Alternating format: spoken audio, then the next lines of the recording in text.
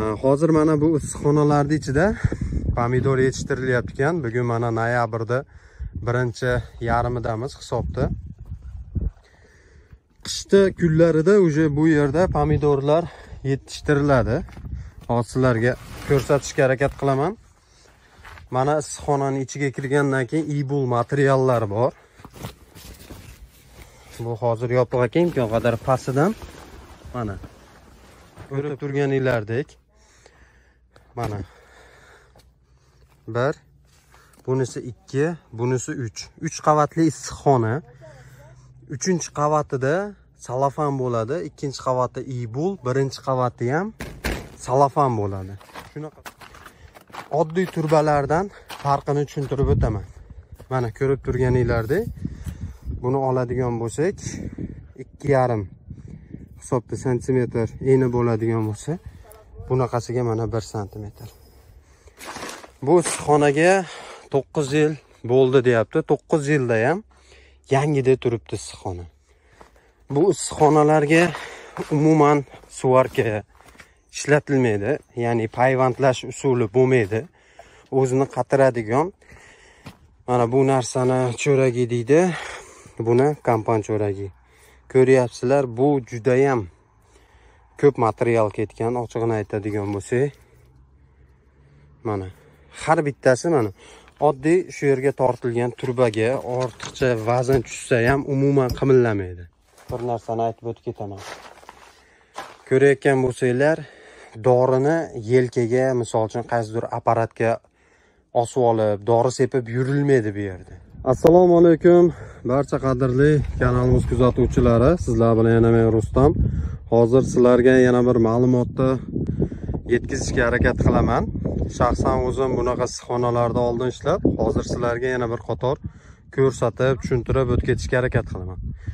Bugungi tushuntirmoqchi bo'lgan issiqxonam tandon issiqxonasi bu ham hisobda tandon issiqxona lekin anchagina baquvvat va kattagina issiqxona. Mana bu tomonda ko'rayotgan bo'lsanglar ham bu turdagi issiqxonalar turibdi va bu yoqda ham turibdi. Bu issiqxonani nimasi bizga afzal qaysi tomonlama qulay deydigan bo'lsanglar buni hozir sizlarga aytib ko'rsatib tushuntirib o'tib ketishga harakat qilaman. Juda ko'pchilik kommentariyada telegram instagramda ham aloqaga chiqib ham so'radi aka biz pomidori badrin yetishtirmoqchimiz. Shunga qanday issiqxonani tavsiya etasiz deganlar ko'p bo'ldi. Hozir mana bu issiqxonalarni ichida pomidor yetishtirilyapti ekan bugun mana noyabrda birinchi yarmidamiz hisobda. Qishda kunlarida уже bu yerda pomidorlar yetishtiriladi. Hozir sizlarga ko'rsatishga harakat qilaman. Mana issiqxonani ichiga kirgandan keyin ibul materiallar bor. Bu hozir yopiq ekan imkon qadar pastidan mana o'tib ko'rsatadigan bo'lsam bular pomidori yetishtirish bo'yicha issiqxonani tayyorlashgan.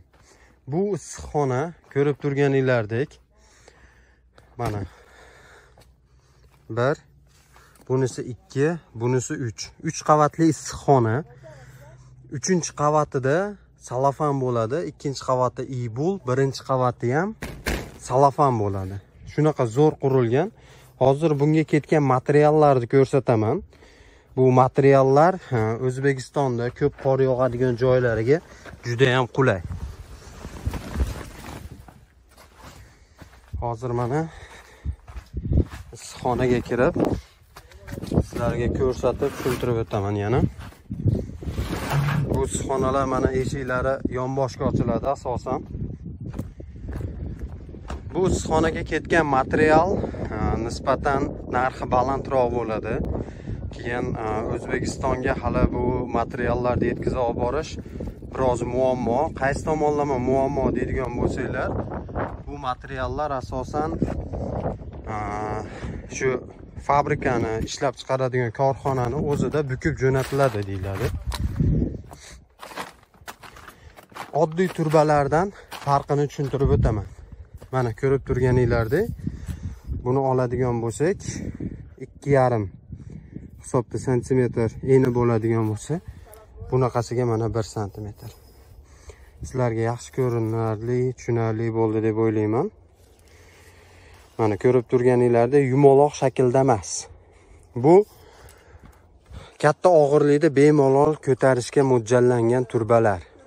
Agarda qorli hududlarda yashaydigan bo'lsanglar ya'ni sizlar tomonda qor ko'p yog'adigan bo'lsa shu materiallardan foydalanib issiqxona qurganinglar ancha yaxshi. O'zi janubiy koreyada ham unaqa qorlar ko'p yog'maydi.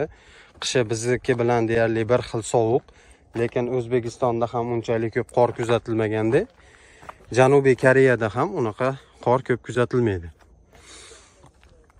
Shunga qaramasdan mana bu issiqxonada ham maxsus shu turbalardan qilingan. Keyin hozir yana bir narsani ko'rsatib tushuntirib o'tib ketaman bu issiqxonaga to'qqiz yil bo'ldi deyapti. To'qqiz yilda ham yangidek turibdi issiqxona hmm, qoyil qolish kerak. Ba'zilar biroz arzonroq qilishadida bir yil ikki yilda yoki besh olti yilda issiqxona o'zini sifatini yo'qotadi. To'qqiz yildan beri turgan issiqxona deyarli hech narsa bo'lmagan. Bukilgan egilgan yoki singan joylari yo'q. Mana ko'ryapsizlar bu materialni hozir tashqaridan ham ko'rsatishga harakat qilaman sizlarga. Bu issiqxonalarga umuman suvarka ishlatilmaydi ya'ni payvandlash usuli bo'lmaydi. O'zini qatiradigan mana bu narsani cho'ragi deydi. Buni kompan cho'ragi. Ko'ryapsizlar bu judayam ko'p material ketgan ochig'ini aytadigan bo'lsak.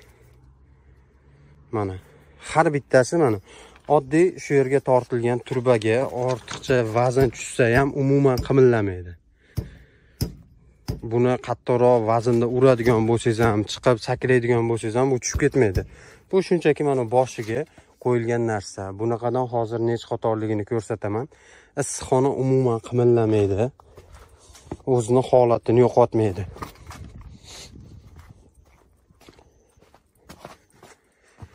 Bunga yaxshigina sarmoya ajratilgan. Birinchi qavatni tushuntiraman. Birinchi qavati asosan mana turbalar tortilgan bo'lsa har 80 santimetrga bularni orasi 80 emas 60 chiqadi hozir. Har bittasida mana ko'rib turganinglardek bitta ikkita mana bunaqasiga tushuntiray tagiga shimbal deyiladi. Asosan shimbal paypi tortilgan pastki tomoniga keyin mana bu yerda yana bir qator ikki qator sentrda bir qator bo'ladi uch qator va bu yoqda yana uch qator bor. Bir ikki uch shimbal bilan. Ko'rib turganinglardek bu tomon uch bu tomon uch sentr bilan yetti qator hisobda qo'shimcha mana turbalar tortilgan. Bu issiqxona judayam mustahkam bo'lgan. Haqiqatdan ko'proq qor yog'adigan bo'lsa ham vaznni bemalol ko'taradi. Juda ko'p issiqxonalarga boryapmiz. Yetti yil sakkiz yil bo'ldi besh yil bo'ldi deydi issiqxona yangidek turadi. Koreyani shu turbalari ketadigan qo'shimcha butlovchi qismlari ham juda mustahkam turadi.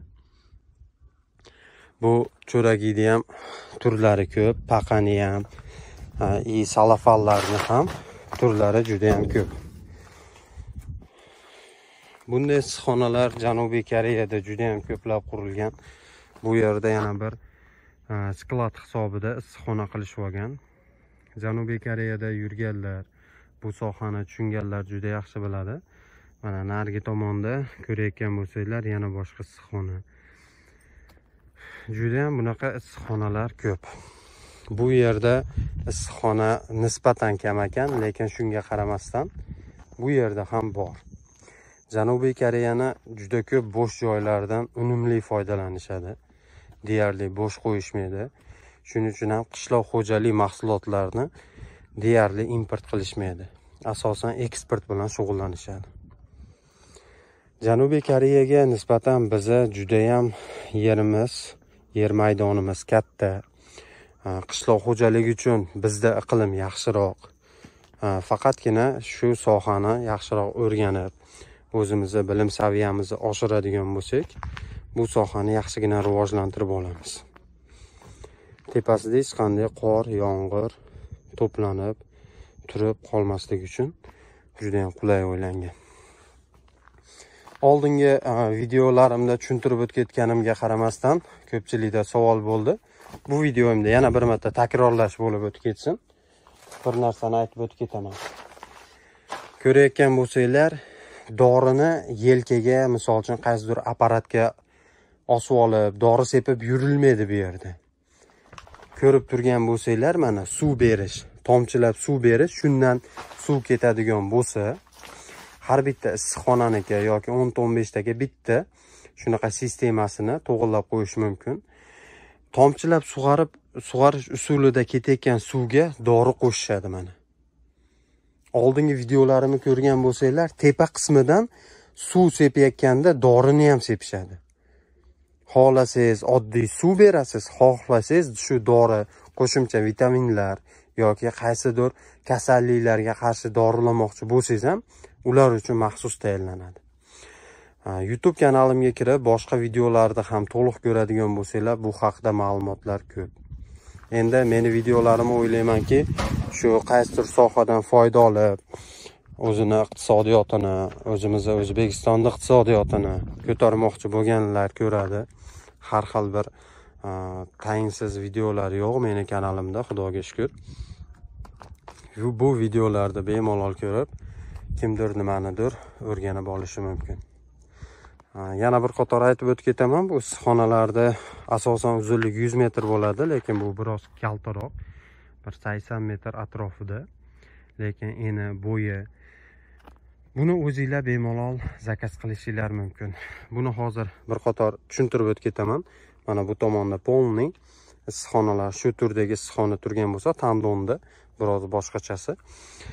Eni 8 metr bo'yi bir 340 3,5 metr atrofida. Shunaqa. Judayam bir qulay tushilgan issiqxona. Bu issiqxonani tepa tomonida qo'shimcha butlovchi qismlar bilan bir biriga ulashadi. Bu bitta to'liq egilgan turba emas. Turbani qanaqaligini ko'rsatib tushuntirib o'tib ketdim. Yumaloq turbadan farqlab olmoqchi bo'lganlar uchun hozir yana bir qator yumaloq turba bilan uni farqini ko'rsatib qo'yay mana buni ko'rayotgan bo'lsanglar 32 li yumaloq turba. Bu 25 li yumaloq turba. Ha bu bo'lsa maxsus bukilgan mana. Bu en tomoni mana. Ko'ryapsizlar. И bunaqa qo'shimcha kompan jo'ragilar bilan qatirilib chiqilgan. Umuman qimillamaydi har qanday vest ko'taradi. Judayam zo'r qurilgan sizlarga bugun qisqa yetkazmoqchi bo'lgan ma'lumotim shu edi. Issiqxona bo'yicha e, o'zinglarni qiziqtirgan qo'shimcha savollar takliflar bo'ladigan bo'lsa bemalol kommentariyada yozib qoldirishinglar mumkin. Men sizlarga imkon qadar javob berib Э, savolinglar ustida ishlab yanada ma'lumot berishga harakat qilaman. Hozircha xayr keyingi videolarda ko'rishguncha sog' bo'linglar.